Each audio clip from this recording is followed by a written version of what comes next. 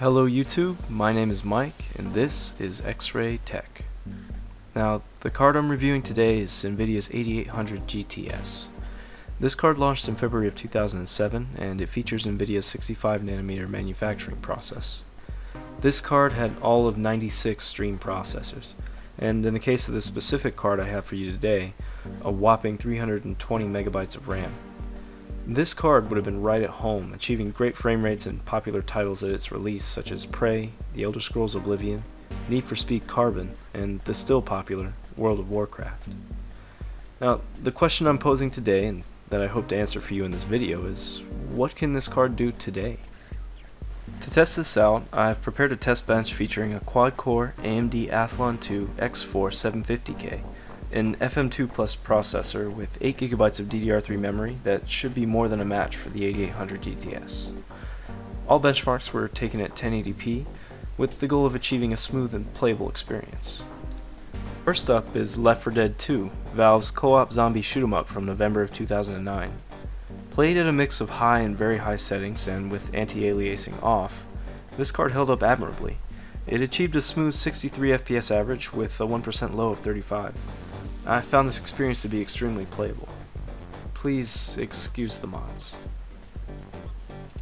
Second on our list is Star Wars Battlefront 2, a 2005 title that captures large-scale ground and space battles from the Star Wars universe. This game is making a comeback through a very active modding community, something worth checking out. Also worthy of note is the fact that multiplayer games are still supported through Steam. On max settings we achieved an average of 35 FPS with a 1% low of 27. While this seems bad, the experience was surprisingly smooth, so I didn't feel the need to tweak any settings. The Elder Scrolls Oblivion is next in our benchmarks, and for many, a very nostalgic choice. The 8800 GTS destroyed this game, achieving an average of 176 frames per second, with very infrequent drops to 43 FPS. This game was my first RPG, and exploring Tamriel again brought back memories as well as a realization that I was probably due for another playthrough. There's also a huge modding scene for this game, with everything from quests to complete overhauls, transforming it into almost another game entirely. Regardless, the 8800 GTS has more than enough juice to power you through a sweet, sweet nostalgia-fueled romp through an old, but still fun, stomping ground. Released in October of 2010, Fallout New Vegas is the fourth major release in the Fallout series, and next in our lineup of benchmarks. This game is set in the western United States following a total nuclear apocalypse. This retro western themed survival game still holds up well today, and a release three and a half years after the 8800 GTS wasn't enough to hold our little card back. The medium preset with anti-aliasing and anisotropic filtering off returned an average of 58 FPS and 1% lows of 30 FPS. The game was highly playable and, like Oblivion, has a very active modding community to help inject variety and add to the fun. Borderlands the pre-sequel is up next, and this game was released in 2014, uh, an astonishing seven and a half years after the 8800 GTS, and this card steps right up to the plate in this popular co-op shooter. Notable for its cel-shaded art style and a very addicting weapon and loot system, Borderlands is a blast, especially with friends. If you haven't played it, be prepared for some dark humor. On the medium preset, the 8800 GTS returned an average of 39 FPS, with lows dipping as far as 25 FPS. Once again, this produced a smooth and enjoyable experience, and I didn't feel the need to adjust settings any further.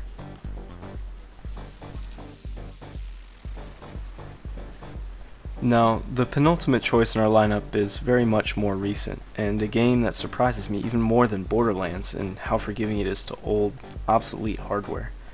Paladins is a team-based shooter that shamelessly draws its inspiration from Overwatch, to the extent that its laughably similar characters end up being just as endearing as the ones they try to imitate. Can anyone spot the uh, not Reinhardt? This game plays exceptionally well, and best of all, it's free. On the high preset, I was rewarded with an average of 63 FPS and a 1% low of 43. Gameplay was smooth, and while I'm not particularly skilled, I can't blame it on the graphics card. So, finally, we come to our last title, literally one of the most popular games in the world, League of Legends.